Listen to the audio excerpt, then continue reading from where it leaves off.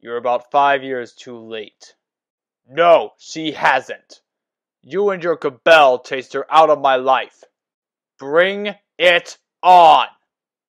Butt out, grandfather. Enough! Enough! Our families have fought enough as it is. Why don't you call on Salma? She's been trying to reach you for days. Please don't let the cycle repeat again.